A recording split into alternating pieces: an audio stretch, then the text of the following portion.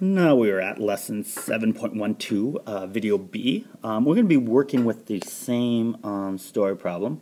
An airplane travels the same distance every day. It travels 382, 3,822 miles a week. And then we are going to figure out um, per day. But I didn't write that just because it, I thought it was redundant.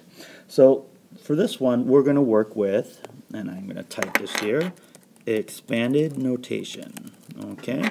Now we did expanded notation multiplication, and I guess we did rectangular sections multiplication. So now we've done rectangular sections division, and now we're going to do expanded notation division. All right. So let's look at. Um, this one is going to be a little bit different because this one is going to be, we're going to set this one up vertically. Whereas the last one we set up horizontally. So let's look at 7, or let's look at our first our divisor uh, 3, 8, 2, 2, and we're going to divide that by 7. And the first thing is how many 7s into 3,000? We don't know. We can't do it um, just because it's a little difficult. But 7 into 38,000, we know that 7 times 5 is 35, so we know that that's going to be 500.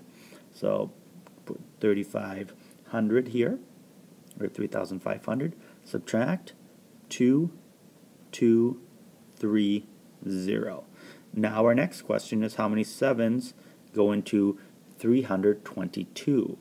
Well, we know that, and I'm kind of doing this right here. I cover up the 2, okay, so then I just have 32. We know that, well, 7 times 5 is 35, so that's going to be too big, so it's going to have to be 4. So, and we, it's going to be 40, okay, 7 times 40 it's going to be 0 and then 2, 8. And now we're going to subtract again. 2, that becomes 2, 12, 4. And now it's how many 7s into 42? And that's going to be 6. So now I have these three numbers here. I'm going to add those together and I'm going to get 546. Okay, so hopefully that number matches the number we had before.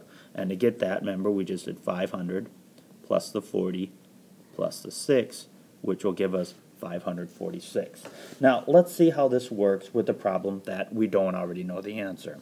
Okay, so let's look at 3,712, and we're going to divide that by 8. Okay, so the first thing we have to figure out is how many times is 8 8 go into 3,000. Well, we don't know that. So, we, well, we, we could fig- we're going to figure that out, kind of. But then we, we want we want to look at into 37. How many 8s in 37? And technically, it's 3,700. So, 8 into 37, well, 8 times 5 is 40. So that's going to be too big. So it's going to have to be 4, and we're going to fill in 400. 8 times 400 is going to be 32 hundred. And now I'm going to subtract 2, 1, 5, 0. So now how many 8s in 512? And what I'm really looking at, boys and girls, is how many 8s in 51. Okay?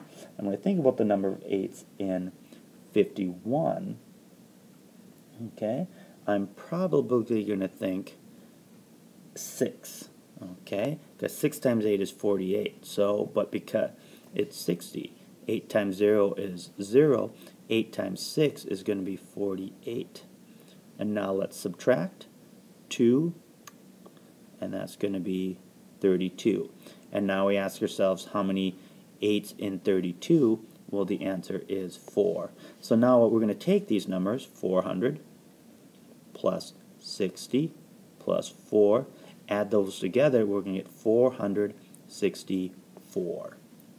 Okay? So that's the, that is expanded notation division.